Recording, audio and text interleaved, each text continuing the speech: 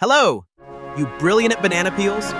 Welcome to Color and Create with Ziggy. Today's mission is top secret, super silly, and extra sparkly. We're inventing a cleaning robot. But first, we need answers. Let's build this bot quiz style. Round one What's your bot's name? Pick one, or make up your own. A. Captain Crumb Cruncher. B. Miss Mop-a-Lot. C. Sir Socks a Tidy. D. The Glitterator 9000. E. Insert your genius robot name here. Yay! Now draw your robot's face. Is it silly, serious, covered in googly eyes? Round two. What's your robot's superpower?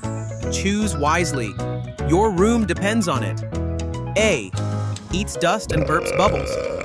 B. Sorts socks by smell. C. Shoots glitter at dirty dishes. D. Folds laundry while beatboxing. E. All of the above and also makes snacks.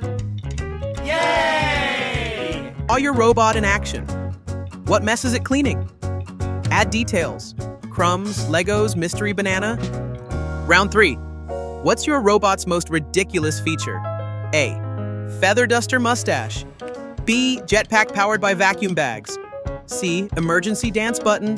D. Sings It's Raining Soap when it's bored.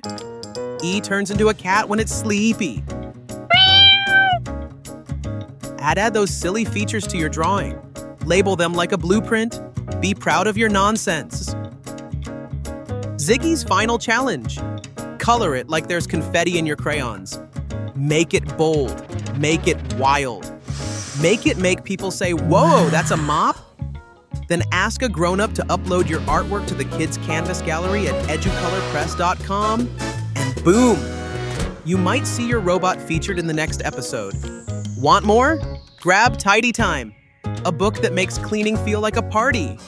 That's it, Superstar Sweepers. Keep drawing, keep dreaming, and until next time, stay bright, stay curious, and stay ziggified. Also, maybe clean under your bed.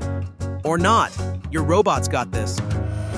You can download free printables from this episode at educolorpress.com.